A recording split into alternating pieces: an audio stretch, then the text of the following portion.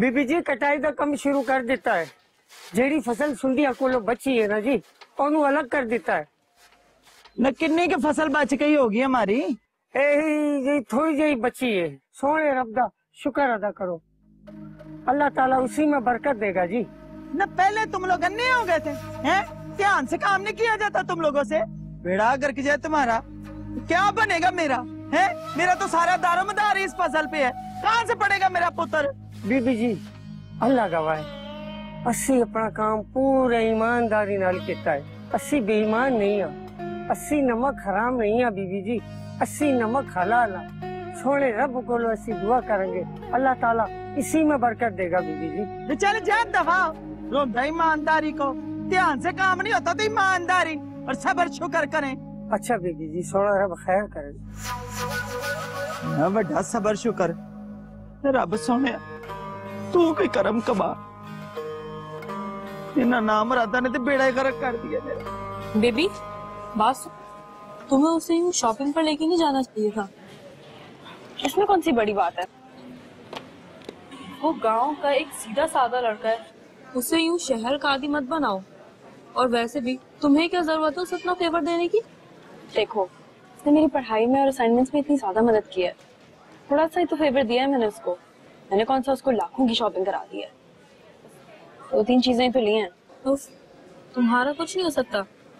You are just impossible जी मुझे पता है आई एम इम्पॉसिबल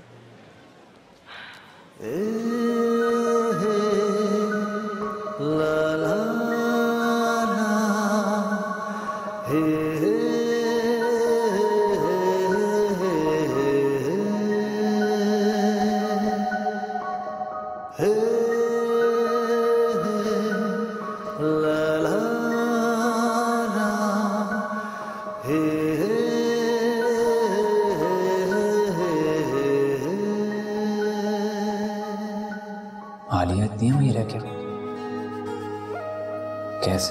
बैठे बिठाए इतने ज़्यादा पैसे खर्च कर दिए। वो भी मुझ पर।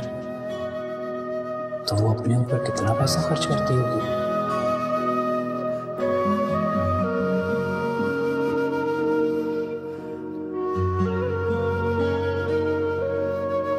हम आ रहे हैं रुक जाओ। यार बेबी तालिब कोई बच्चा नहीं है जो हम उसका यूँ इंतज़ार कर रहे हैं।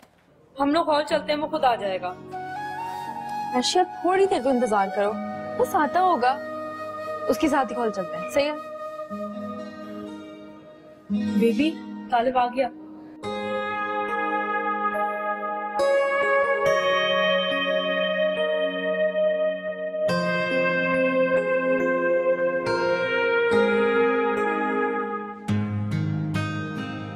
तुम दोनों मेरा वेट कर रही हो? हम तो किसी तालिब के मुंतजर थे। आप कौन? हम तो आपको नहीं जानते। क्यों? इतना जुबा लग रहा हूँ मैं। नहीं बहुत अच्छे लग रहे हो। इतने अच्छे कि मैं भी थोड़ा सा जेलस हूँ। इतना अच्छा भी नहीं लग रहा। मैं तो कहती हूँ कि जेंटलमैन ऑफ़ द डे के अवार्ड तुम्हें मिलेगा।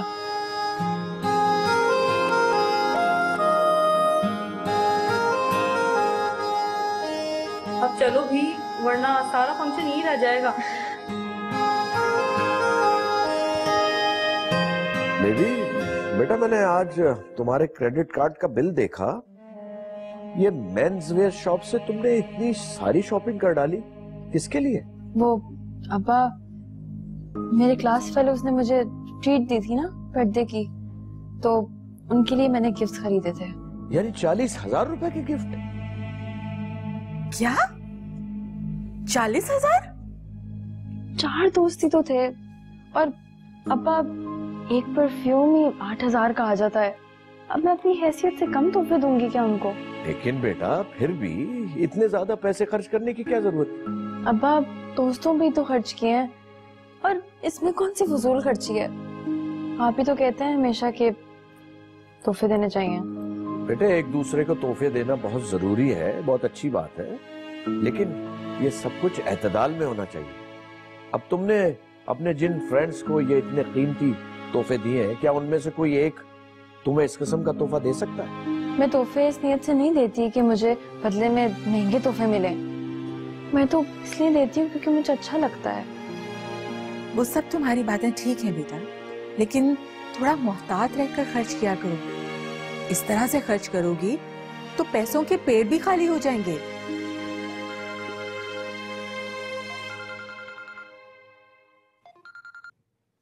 जी सलाम वालेकुम। अम्मा अगले हफ़्ते मेरे इम्तिहान है।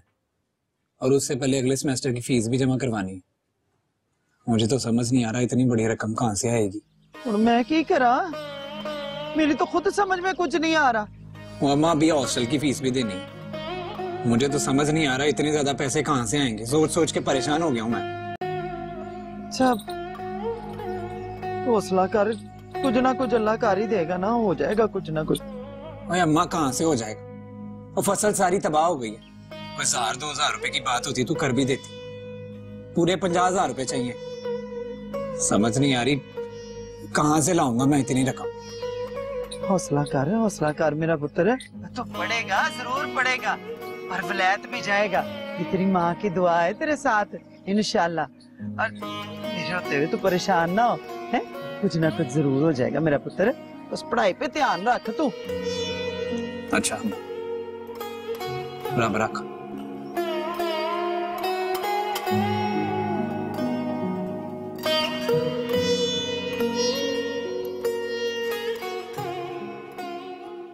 अस्मा की माँ, मेरी बहन अजीजा को बीजों और खाद के लिए पैसों की लोड़ है। फिर वो अपना तालिब है ना, उसकी फ़ीस भी जानी है। ऐसे मौके पे मैं उनको अकेला छोड़ दूँ। मदद ना करूँ उनकी हाँ? इतनी मेहनत करके मैंने तालिब को इस मुकाम पे पहुँचाया है। और क्या कुछ नहीं किया उसके लिए। दर बदर फिरता रहा हूँ, ठोकरे खाता रहा हूँ, उसके दाखिले के लिए। अल्लाह ने आज उसे इस मुकाम पे पहुँचाया है। और कामयाबी की आखिरी सीढ़ी पे है। मंजिल सामने है। ऐसे मौके पे मैं उन्हें छोड़ दूँ? ये नहीं हो सकता मुझसे। मैं इतना खुद गर्ज नहीं हूँ। मैं ऐ नहीं कह रही कि आप उसकी मदद ना करें। मगर सोचने वाली गल है कि लाख रुपया कोई मामूली रकम नहीं। तो पहले ही आप आप इतना कर्जा है। हमारे को सोने के पहाड़ है। तो आप हो रकम दे रहे जो कुछ भी है वो मेरी बहन और वो भी बेवा बहन है। मैं उसको इनकार नहीं कर सकता। और तालब मेरा भांजा है। और फिर मैं अपने भांजों को बेयारो मददगार छोड़ दूँ? ये नहीं हो सकता। वो मेरा होने वाला दामाद है। दामाद भी नहीं पुत्र है मेरा। सोना शहजादा पप्पू। चल उठ लाख रुपया दे। मुझे अम्मा का रिस्पांस तो बहुत पॉजिटिव लग रहा है। अब्बा का डर लग रहा है कि कहीं वो इनकार ना करते मुझे तो बस बीबी का डर है कि कहीं वो इनकार ही ना करते अच्छा सोचोगे ना तो अच्छा हो अरे आप नहीं जानती इस बेबी को? वो किसी भी वक्त कुछ भी कर सकती है। किसी भी पुरानी बात को इशू बनाकर इनकार कर देगी। नेवर नो इसीलिए तो मैं कहती हूँ कि बेबी को खुश रखा। खैर तुम परेशान नहीं सब अच्छा होगा।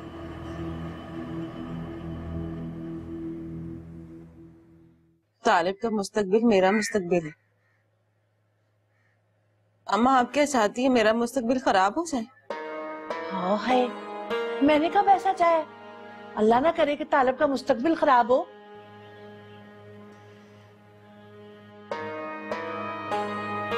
तो और आपके कहने का क्या मतलब है अम्मा? आपको नहीं पता कि मेरी आगे की सारी ज़िंदगी तालिब के मुस्तकबिल से जुड़ी हुई है। और आपने अब्बा को मना कर दिया पैसे देने से। अगर अब्बा पुप्पो को पैसे नहीं देंगे तो तालब की पढ़ाई रुक जाएगी। वो सड़कों की खाक छाने को मुझे सारी ज़िंदगी पाई पाई के लिए तरसना पड़ेगा। मैं भला ऐसा कब चाहूँगी कि तू तंग पड़े या तालब की पढ़ाई छूट जाए? माँ हूँ तेरी, पर डैड नहीं कि तेरा घर बर्बाद कर दूँ। और आपा? वो तो पहले ही इतनी रकम उधार के नाम पे ले चुकी है। पहले वाली तो दी नहीं ये किस तरह देंगी? उनको तो आदत है। पैसे हड़प कर जाऊँगी।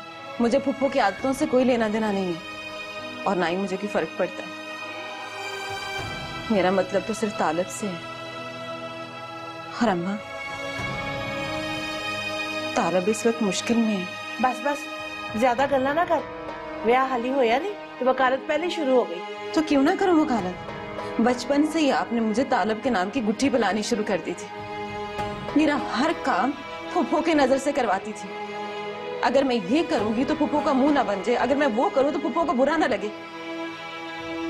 अब जब मैंने सब कुछ सीख लिया, अम्मा तो आप मुझे कह रही है कि मैं अपने आप को बदल दूँ? मैं अपना अंदाज बदल दूँ? कैसे बदल दूँ, अम्मा, मैं सब कुछ? मैं अपनी मर्ज़ी से अपनी ज़िंदगी नहीं जी सकती। मेरी भी ख्वाहिशें हैं। अपनी सारी ज़िंदगी में आपके तरीके से और फुफो के तरीके से गुजारू। जो आप कहें जैसा आप चाहें। तो, तो पागल हो गई। दिमाग खराब हो गया।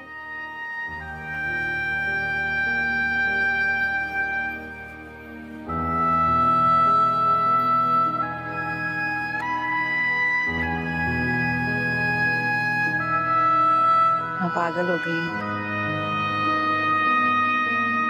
दिमाग खराब हो गया मेरा ज़िंदगी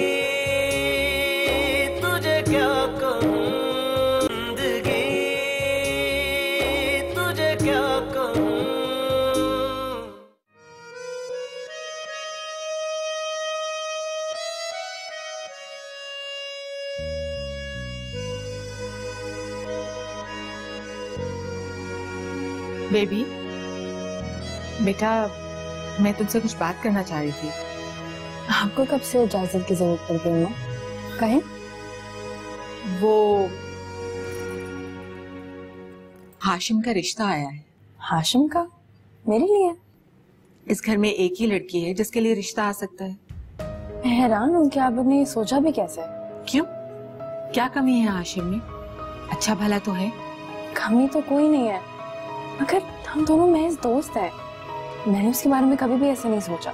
मुझे तो हैरत है कि आप लोग ने ऐसा कैसे सोच लिया। अगर तुमने पहले उसके बारे में नहीं सोचा तो अब सोच लो। वैसे मुझे यकीन है तुम दोनों बहुत खुश रहोगी। नहीं अम्मा। मैं हाशिम से शादी नहीं कर सकती। हाशिम बहुत अच्छा लड़का है और अम्मा अच्छे बुरे की बात नहीं है। मैं किसी कम पढ़े लिखे लड़के से शादी नहीं करना चाहती और ना ही किसी बिजनेसमैन से। आज से पहले तो तुमने कभी ऐसी बात नहीं की। आज से पहले आपने मुझसे कभी रिश्ते की बात ही नहीं की। बेटा तुम इस बारे में आराम से सोच लो। फिर फैसला करना। हमें कोई जल्दी नहीं है। नहीं अम्मा। मुझे इस टॉपिक पे सोचने की ज़रूरत नहीं है। मेरा जवाब पहले भी ना था और अभी भी ना ही है। प्लीज़ मुझसे अब इसके बारे में बात नहीं करेगा। बेबी बेटा अभी तुम मुझे थोड़ी सी डिस्टर्ब लग रही है। तुम सोच लो। मैं एक दो दिन में तुम्हारा जवाब दे दूँगी। मुझे यकीन है कि तुम इस रिश्ते के लिए राज़ी हो जाओगी क्योंकि मुझे हाशिम तुम्हारे लिए बहुत पसंद है।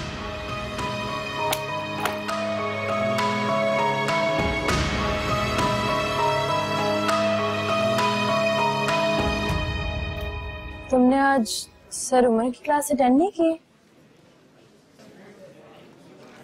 तबीयत ठीक नहीं। ओहो तो यूनी ना आते आज? क्या बात है? सब ठीक तो है ना? हाँ सब ठीक है। चलो कैफ़े चलते हैं। नहीं आप लोग जाएँ। मेरा दिल नहीं कर रहा। ऐशिया तुम जाके कुछ ऑर्डर करो मैं आ रही हूँ।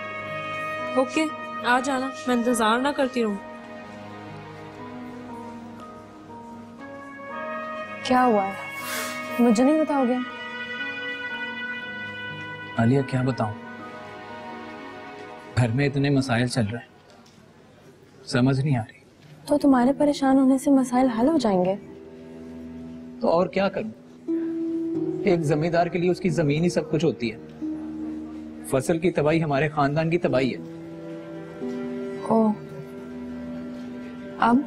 अभी नेक्स्ट सेमेस्टर की फ़ीस भी जमा करानी। मेरे पास पैसे ही नहीं। बड़ी मुश्किलों से इस मुकाम तक पहुँचा ताकि पढ़ाई कर सकूँ कुछ बन सकूँ। इतने ख्वाब लेकर आया था शहर में पढ़ने जा अब इतनी दूर आके मैं पढ़ाई नहीं छोड़ सकता। तुम्हारी एजुकेशन नहीं रुकी। ये मेरा वादा है तुमसे आलिया तुम? दोस्त कहा है ना? तो दोस्त मानोगी।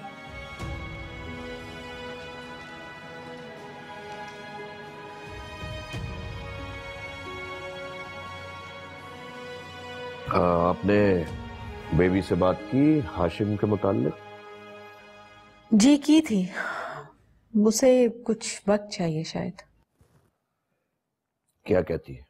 भाई वो कहती है कि मैं किसी पढ़े लिखे लड़के से शादी करूँगी और बिजनेसमैन से तो बिल्कुल भी नहीं करूँगी। भाई ये तो कोई बात नहीं हुई। बेबी का बाप उसके भाई उसका पूरा खानदान बिज़नेस करता है।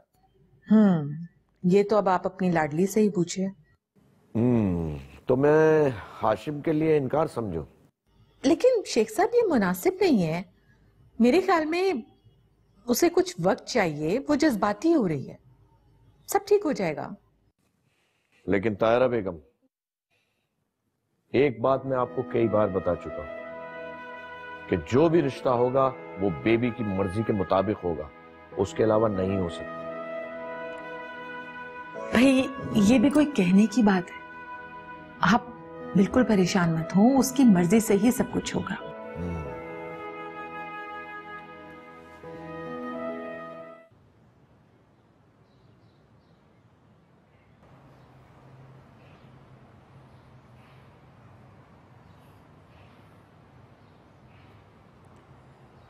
अब्बा? हाँ बेटा? मुझे आपसे इजाज़त चाहिए थी। इजाज़त? कैसी इजाज़त? वो मेरी दोस्त है। नीलम उसके घरेलू हालात ठीक नहीं है। तो मैं चाहती थी कि मैं उसकी सेमेस्टर की फ़ीस जमा कर दूँ। मैं खुद ही कर लूँगी जमा।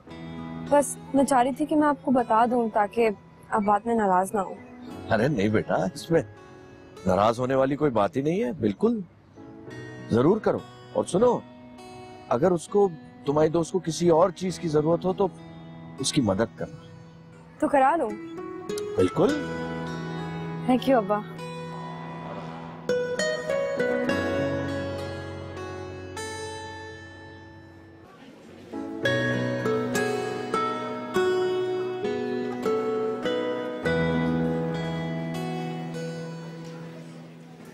आपकी डिश तो अदा हो चुकी है। मेरी फ़ीस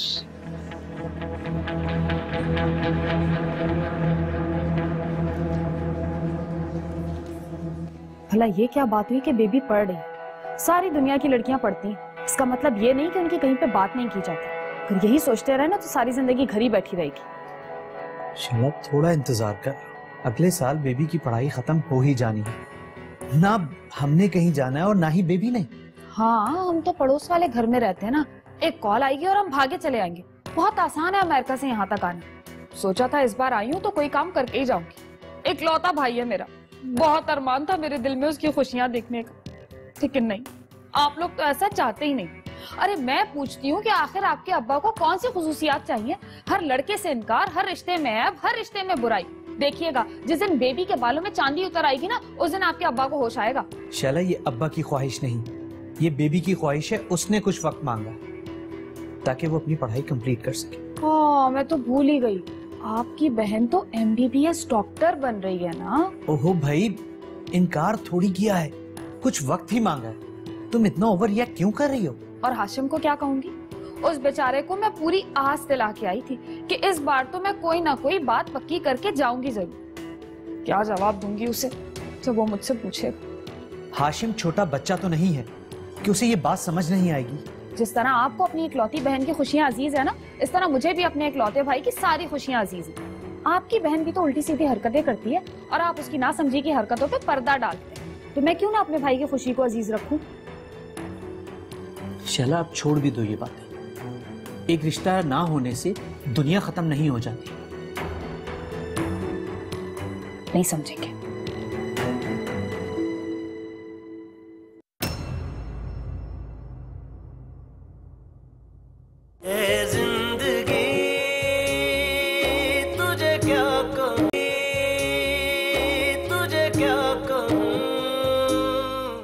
अच्छा तो ये वो पेंडू है जिसका ज़िक्र बहुत सुना था। आज देख भी लिया। बेबी के साथ आया था उसे ड्रॉप करने के लिए। मोहल्ले वाले देखेंगे तो क्या सोचेंगे। बस कर दो आसिफ ये एक लड़का बाहिफाजत हमारी बेबी को घर छोड़ने आया है और तुम उसी पे बातें बना रहे अभी तो मैं बातें बना रहा हूँ। जब दुनिया बातें बनाएगी तो आपको बुरा लगेगा। ए ज़िंदगी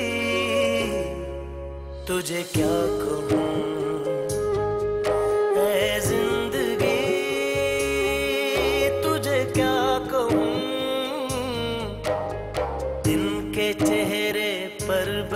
पड़ती है काजल की तरह। चाँद तारों से सजा देती है कालक रात की ज़िंदगी। तुझे क्या कहूँ?